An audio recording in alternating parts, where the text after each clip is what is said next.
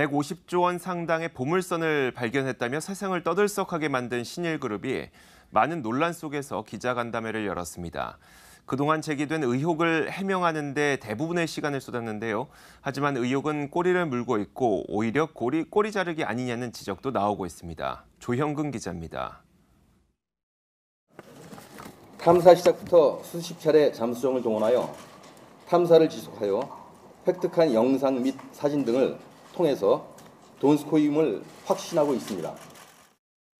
최용석 신일그룹 대표는 확신에 찬 목소리로 돈스코이오를 발견한 것이 맞다고 강조했습니다.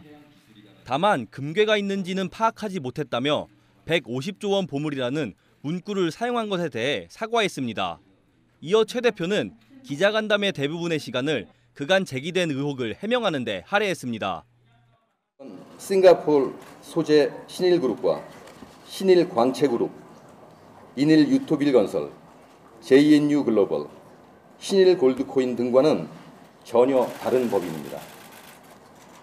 어떠한 주주권의 관계도 없으며 순수히 돈스코, 돈스코이호의 탐사와 발견 시 인양을 목적으로 설립되었음을 또 주식 불공정 거래나 코인을 통해 자금을 모집하는 등의 행위는 하지 않았다고 강조했습니다.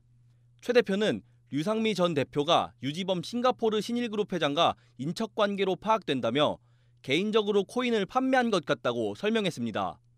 신일그룹 측은 회사 이미지 개선을 위해 회사 명가 대표이사 등을 변경한다고 밝혔습니다. 하지만 일각에서는 꼬리 자르기 아니냐는 의혹을 제기하고 있습니다. 오늘 간담회에 참석한 인물들의 사진이 과거 신일그룹 돈스코이오 국제거래소 SNS 계정에 올라와 있어 연관성이 없다는 주장은 설득력이 없다는 지적입니다. 또 코인이 신일그룹 이름으로 판매되고 있기 때문에 책임을 피하기 힘들 것이라는 의견이 나오고 있습니다. 간담회 이후에도 이와 관련된 질문이 쏟아지자 최 대표는 취재진을 피해 자리를 떠났습니다. 한편 최용석 대표는 제일제강 주식 양수도 계약을 계획대로 진행하겠다고 밝혔습니다. 머니투데이 방송 조현근입니다.